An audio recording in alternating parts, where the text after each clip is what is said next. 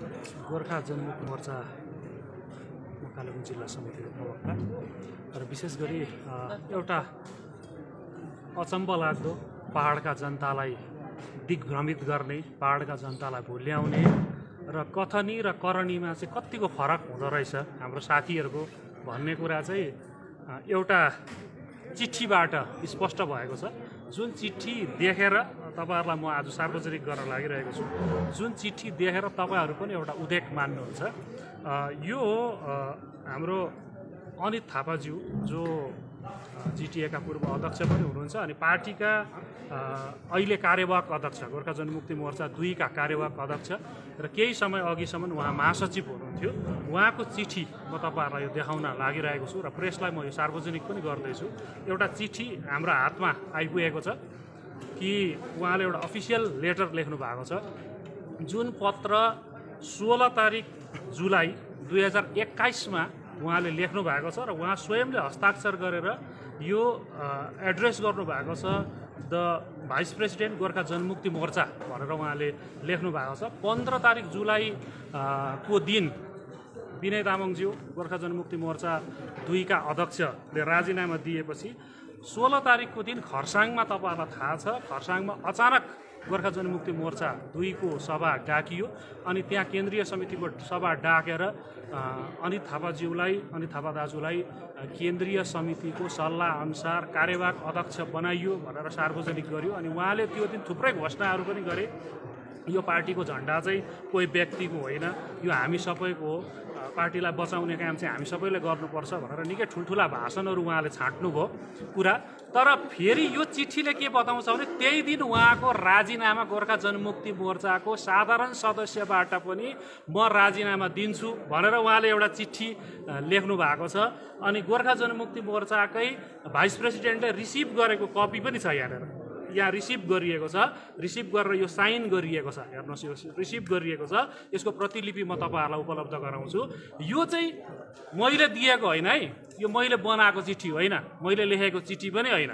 यो चाहिँ कलकत्ता हाइकोर्टमा उनले बुझाएको चिठी हो अनि कलकत्ता हाइकोर्टका अधिवक्ता आनन्द भण्डारीज्यू मार्फत प्राप्त भएको पत्र हो।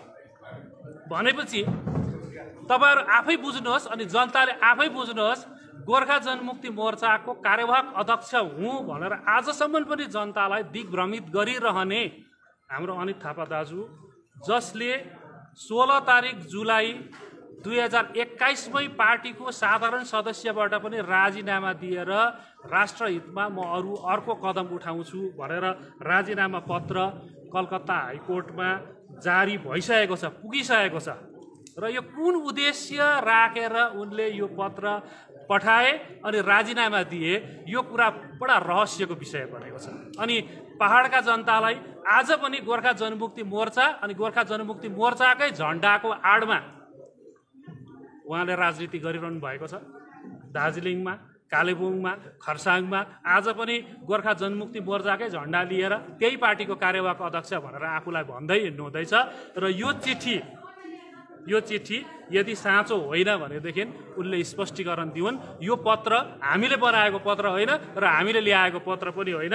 यो चिठी कलकत्ता हाइकोर्टमा बुझाइएको पत्रको आधारमा त्यहाँका वरिष्ठ अधिवक्ता आनन्द भण्डारीज्यूले जारी गर्नुभएको यो पत्र हो। अनि थापाज्यूले आफै साइन गरेको पत्र उनले गोर्खा जनमुक्ति मोर्चाको साधारण सदस्यबाट पनि राजीनामा दिए भनेर राजीनामा भाइस प्रेसिडेन्ट विनय तामाङज्यूले एक दिन अगाडि राजीनामा दिएपछि त्यसको भोलिपल्ट जुन दिन उनी कार्यवाहक अध्यक्ष बने त्यही दिन नै यो पत्र जारी गरिएको छ। भनेपछि साथीहरूको कथनी र करणीमा चाहिँ कतिको फरक रहेछ र पहाडका जनतालाई झुक्क्याउने राजनीति चाहिँ कति धेरै हुँदो रहेछ भन्ने कुरा चाहिँ अब जनताले बुझ्न जरुरी छ। अनि गोर्खा जनमुक्ति मोर्चा दुईमा रहेर समर्थन गरिरहने बसिरहने जम्मै कार्यकर्ताहरूलाई पदाधिकारीहरूलाई पनि आह्वान गर्छु। अब त साथी हो नझुक्किनुहोस्। हामीले त्यसै भनेका थिएनौँ। दुई तारिक जुलाईको दिन हामीले त्यसै भनेका थिएनौँ। कालेबुङको सिल्भरक्समा प्रेस मिट गरेर हामीले त्यसै भनेका थिएनौँ। जनतालाई ढाँट्ने छल्ने तानासाही राजनीति गरेर जुन प्रकारको लड्याउने षड्यन्त्र भइरहेको छ त्यसको विरोधमा आवाज उठाएर हामी निस्केका थियौँ। त्यही दिन हामीले राजीनामा दिएका थियौँ। साथीहरूको यही प्रकारको नियत कथनी र करणीमा फरक भएको कारणले गर्दा नै हामीले राजीनामा दिएका थियौँ। र अब यो पार्टीको कार्यवाहक अध्यक्षले नै राजीनामा दिएको चिठी कलकत्ता पुगिसकेको सूचना पाउँदाखेरि चाहिँ यसको स्पष्टीकरण चाहिँ जनतामा जाओस् भन्ने हामी चाहन्छौँ। धन्यवाद।